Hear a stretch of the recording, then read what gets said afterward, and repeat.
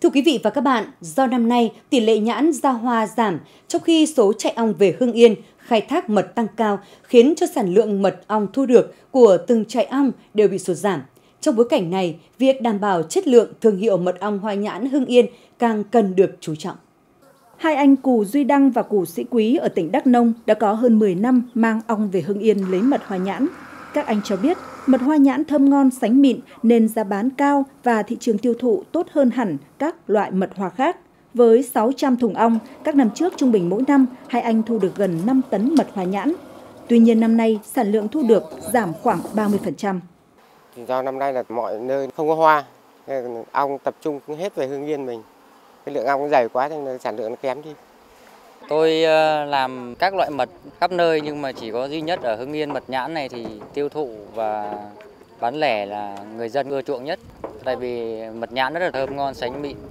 Việc sản lượng không đạt còn có khả năng ảnh hưởng đến chất lượng mật ong hoa nhãn nếu các trang trại ong tận dụng quay vòng sớm hoặc bổ sung thức ăn cho ong hoài mật hoa. Chính vì vậy, trong quá trình khai thác và thu mua mật ong, các cơ sở hợp tác xã trên địa bàn có nhiều biện pháp liên kết đặt hàng, tăng cường kiểm tra, quy trình nuôi tại trại ong hàng ngày, thậm chí chấp nhận giảm sản lượng thu mua để đảm bảo uy tín, chất lượng và thương hiệu. Một vòng người ta quay độ 4 năm ngày tuần cái con lần chúng tôi đặt mười mấy ngày chúng tôi quay để đảm bảo cái cái cái cái thủy phần nó đặc.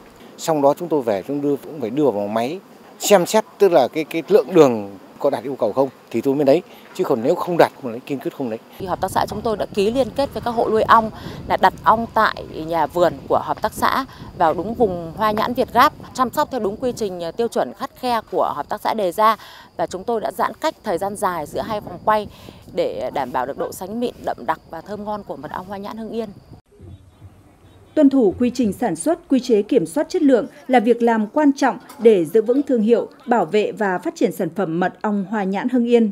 Nhất là khi thời gian qua, lực lượng chức năng các địa phương đã phát hiện và thu giữ nhiều sản phẩm nhái nhãn hiệu mật ong Hưng Yên. Mật ong hoa nhãn Hưng Yên đạt tiêu chuẩn chứng nhận nhãn hiệu phải có màu vàng óng, đặc sánh, thơm mùi hoa nhãn.